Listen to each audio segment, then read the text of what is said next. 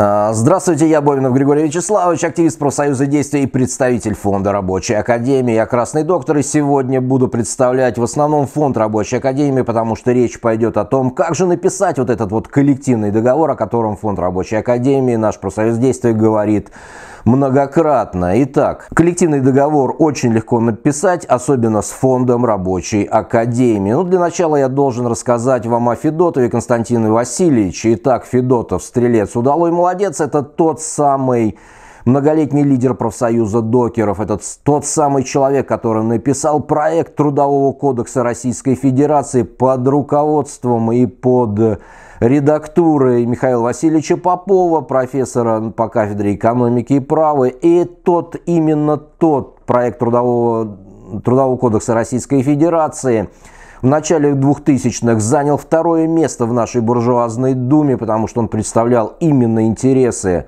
трудящихся. И вот э, Слизка икала и мучилась от изжоги по ночам, потому что появился вот этот проект – и пришлось из проекта именно Константина Васильевича Федотова вставлять пункты в настоящий кодекс, трудовой кодекс Российской Федерации, иначе этот вот трудовой кодекс Российской Федерации, который мы сейчас пользуемся, не был бы таким, он был бы еще хуже по отношению к трудящимся. И вот этот товарищ наш Федотов, стрелец удалой молодец, в том числе и написал вот такой вот коллективный договор – он писал не один, но в основном писал он. Коллективный договор первого контейнерного терминала.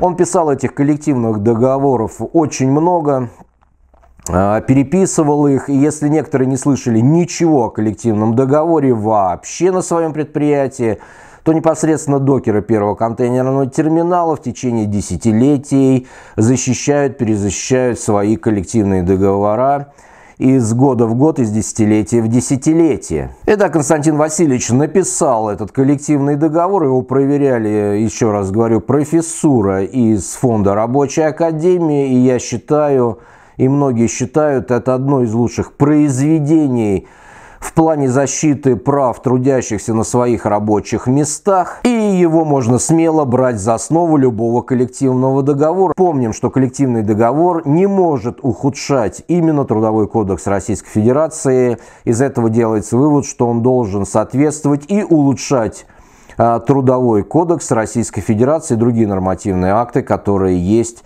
в данной отрасли, а, в которой будет писаться коллективный договор. Итак, с чего же начать именно писать коллективный договор? Я предлагаю вам пойти по самому простому пути. Это зайти на сайт Фонда Рабочей Академии, где представлено несколько коллективных договоров и взять коллективный договор первого контейнерного терминала, по-моему, там висит либо 2006 это один из самых лучших э, именно коллективных договоров первого, контейнерного терминала и взять его за основу. Легкость в том, что он там представлен в вордовском формате и, соответственно, вы его можете скачать и не набивать весь текст вручную.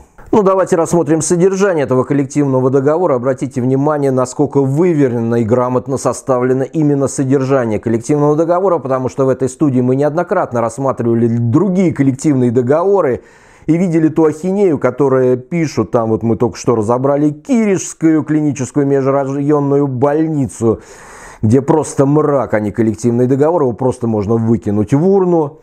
И вот сравните вот с этим вот э, шедевром. Посмотрите. Итак, введение, да, понятно. Вот смотрите, часть первая, первая основной текст. Введение. Основные обязанности работодателя, правкомов, работников. Видите, немного всего на две страницы. Дальше обязательства работодателя. Чувствуете, да, по сравнению с теми коллективными договорами, э, сколько обязательств у работодателя в этом коллективном договоре, о чем договорились с помощью забастовок именно докеры первого контейнерного терминала. И видите, здесь не на первом месте стоит э, заработная плата, она стоит, видите, только в пункте 3.5. А до этого идет э, по организации производства. Ясно, что ты должен приходить на работу, и тебе там должно быть комфортно работать. Если тебе некомфортно работать, тебе и какие-то деньги будут не нужны, потому что ну что это за организация, вообще непонятно что. Второе, по обеспечению занятости. Чувствуете, да, что вот этот пункт 3.2, что если не обеспечена занятость, то какие, о каких деньгах может идти речь, если ты не работаешь на этом предприятии и тебя там сократили по каким-то там капризам начальства. 3.3 по охране труда и здоровья. Ну, ясно, что если наплевательски относиться к охране здоровья, к технике безопасности, ты, тебя там покалечат, ну, для докеров это вообще актуально, там эти грузы тоннами летают мимо них, поэтому но это касается вообще многих э, предприятий, практически всех. У нас редкие предприятия без вредностей. Да почти все с вредностями. Поэтому, если у тебя нет здоровья, тебя там где-то покалечило на предприятии, ну какие деньги, о чем может идти речь? По рабочему времени. Ну, ясно, что это одно из основных. То есть, если мы сейчас все скатились к 12-часовому рабочему дню при заявленном 8-часовом рабочем дне и 40-часовой рабочей неделе – то ясно, что это пункт просто один из самых основных в современной России. И вот, наконец, по оплате труда. И ясно, что если организовано производство, обеспечена занятость, э, соблюдается техника безопасности и работаем без переработок хронических и систематических, непонятно почему, то тут можно поговорить и о зарплате. И тут, видите, есть такой пункт контроль за выполнением, чувствуете, что кто-то должен еще контролировать выполнение этого коллективного договора. И подготовка проекта нового коллективного договора уже сюда входит, то есть уже люди понимают, что жизнь не заканчивается вот этой борьбой там в 3-5 месяцев, 6 или год там стояли докеры и ждали, когда согласятся работодатели на их условия и уже не успели заключить коллективный договор, и уже в этом же коллективном договоре подпис, прописана подготовка проекта нового коллективного договора. Ну и дальше вынесена куча приложений, сейчас мы посмотрим сколько их, аж 31 приложение, ну вот одно не, не заглавлено, 32 приложения, они вынесены отдельно, потому что некоторые приложения здесь просто перенесены из предыдущего коллективного договора, их удобнее для докеров, чтобы они были в отдельном приложении – но скажу другое, то есть вот эти приложения можно все рассмотреть, если что-то вам нравится, вот эти приложения можно сделать, э, э, именно воткнуть в основную канву коллективного договора. Но тут возникает один нюанс, почему некоторые приложения отдельно, не в основной конве коллективного договора, потому что надо было заключить коллективный договор основную часть, но по некоторым положениям просто шли очень э, долгие дискуссии, и нету коллективного договора на предприятии, он должен быть. И поэтому отдельные приложения просто рассматривались, также заключались как коллективный договор, только отдельно. И там можно посмотреть по годам, они просто переносятся. Вот тут, вот, например, э, приложение от 2005, от 27 декабря 2005 года, о привлечении к ПРРС сторонних работников. Видите, тут приложение 2002 года о доплате. То есть, чтобы это не было в основном, вынесли в приложение ну, для докеров на тот момент, и сейчас, возможно, это удобнее, чтобы это было в отдельных приложениях. Ну и переходим к самому интересному, как же написать этот коллективный договор, имея на руках файл вордовский с коллективным договором Э, докеров от 2006 года. И так все очень просто. Вы берете компьютер, открываете этот файл, садитесь и начинаете исправлять. Исправлять очень просто. То есть вы исправляете там вот этот первый контейнерный терминал, исправляете на название своего завода, там, допустим, металлургический завод имени второй пятилетки, и в дальнейшем меняете докеров, меняете на столеваров. Или же там на шахтеров, или же на учителей, или на врачей, или на кого угодно, на медицинских работников, просто на работников. Потому что, еще раз повторюсь, именно коллективный договор, как и Трудовой кодекс Российской Федерации, это взаимоотношения между работодателем и работниками. И все равно какие специальности, потому что у всех одни и те же проблемы. Я вас призываю к тому, и это делать надо всегда, при написании любого документа вы должны этот документ написать от начала до конца, прям сразу. Вот вы сели и напишите этот документ от начала до конца, тем более возможности у вас сейчас есть. У вас есть, еще раз повторюсь, файл, который вы скачаете с сайта Фонда Рабочей Академии – он у вас есть от начала до конца. Вот и вы сядьте и, прочитывая, просто пробегая глазами этот документ, вы будете исправлять докеры на учитель, на столевар, на столер, на все, какая у вас есть специальность. Ну и, соответственно, если у вас там ЕПОР-ПОР, это вот конкретно два профсоюза, один профсоюз, это надо знать заранее, соответственно, узнать кто же представляет работников у вас непосредственно на предприятии? Ну, чаще всего это один профсоюз. Вот этот один профсоюз вы ставите вместо этого ЕПОР, который есть в этом коллективном договоре. Но еще раз повторюсь, вы должны это сделать от начала до конца. Сколько у вас уйдет на это времени? Все зависит от того, насколько вы быстро читаете, насколько вы быстро вникаете и насколько вы быстро исправляете докер, слово докер на шахтер. В принципе, там в поиске можно ввести исправление, то есть вы можете сразу задать слово докер исправить его на шахтер, и во всем документе все это исправится. Есть такие способности у Word. И вот у вас есть целый документ от начала до конца, у вас это на это уйдет от 4 до 8 часов. То есть, представляете, вот такой вот коллективный договор – который у вас будет называться проект коллективного договора, он будет у вас готовый за 4 часа.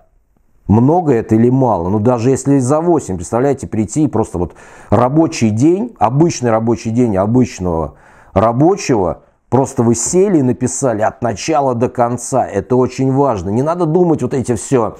Надо бы вот здесь вот, вот этот пункт получше вылезать, вот этот вот пункт как-то переписать, вот здесь вот посовещаться. Ваша сейчас задача конкретно одного человека это просто взять и написать от начала до конца. После того, как вы исправили, прочитали весь этот коллективный договор, который у вас получился, соответственно, вот он получился от начала до конца, конкретно вот это, первая основная часть.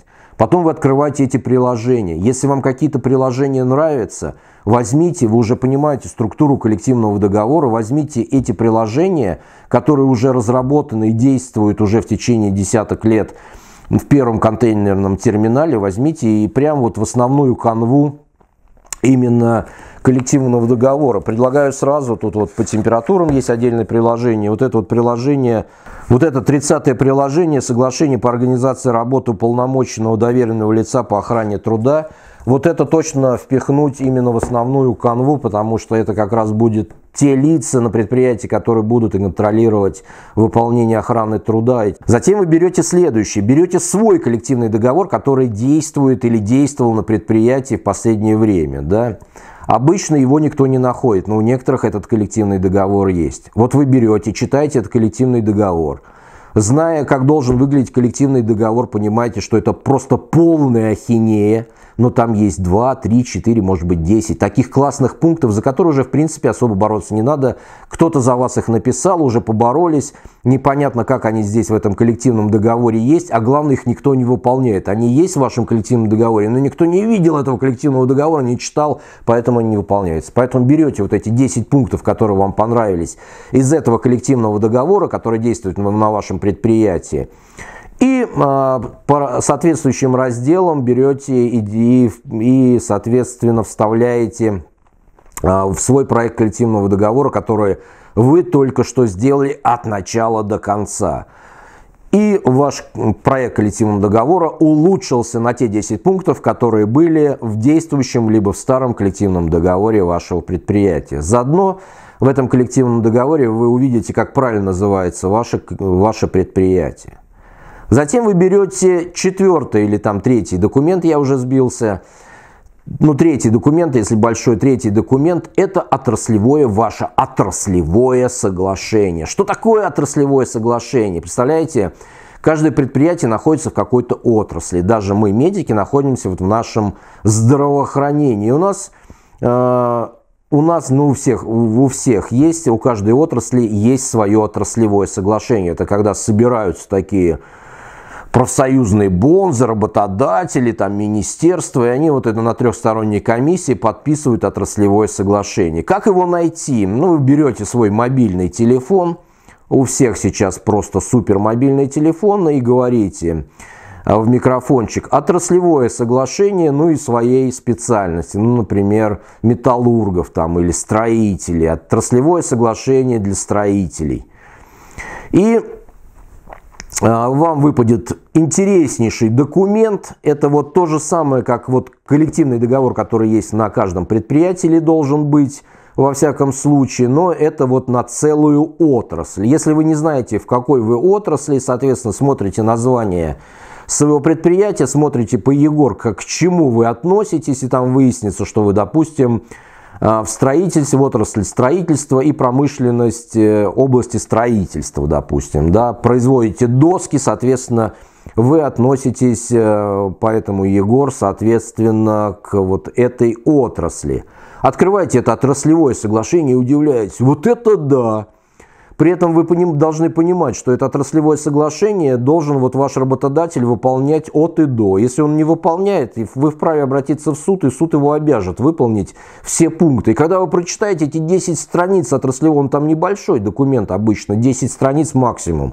Когда вы прочитаете эти 10 страниц, вы удивитесь, нифига себе, сколько там всего надо, нужно было выполнять, и даже драться, биться за это не надо. Какой коллективный договор? Вот отраслевое соглашение, у нас даже этого не выполняется. И вот вы берете это отраслевое соглашение, и то, что у вас ну, вы же знаете, что вы писали только что, буквально там 4 часа назад. И вот эти пункты из отраслевого соглашения вы вставляете в свой, и еще лучше у, тебя, у вас становится проект коллективного договора. Но на этом вы не заканчиваете, потому что я вам открою секрет. Есть министерское отраслевое соглашение, которое заключается чаще всего в столице нашей Родины, городе Москве. Но есть отдельно именно по регионам отраслевые соглашения. То есть я, например, по своему региону ответственно заявляю, что у нас есть э, отраслевое соглашение двух регионов Санкт-Петербурга и Ленинградской области, который просто шоколадный даже по сравнению с отраслевым соглашением Минздрава России, ну и вот этих желтых профсоюзов. То есть вы открываете конкретно еще и этот файл узнаете, бада, там бесплатный проезд для таких-то категорий. Вот столько-то надо платить при выходе на пенсию и т.д. и т.п. Такие интересные, вкусные вещи, их тоже вы выбираете и вставляете вот в эту структуру коллективного договора, который вы только что составляли. И вот не прошло у вас и 8 часов от начала работы – когда вы стали, умылись и со свежей головой сели за эти бумаги, и вот он у вас уже готовый проект коллективного договора от начала до конца. И вот вы такой довольный, но понятно, что Ошибки наверняка какие-то будут, поэтому вы берете этот коллективный договор, этот файл и отдаете своим товарищам по коллективной борьбе для вычетки этого коллективного договора. То есть люди, которые своими глазами пробегают по коллективному договору, они, возможно, увидят те несуразицы, которые есть а, в этом проекте коллективного договора, исправят там знаки препинания, там какие-то буквы, может что, и вот он готов. Но не хватает там самого главного – а не хватает там тех требований, которые у вас просто, вот за которые вы порвете любого, как тузик грелку.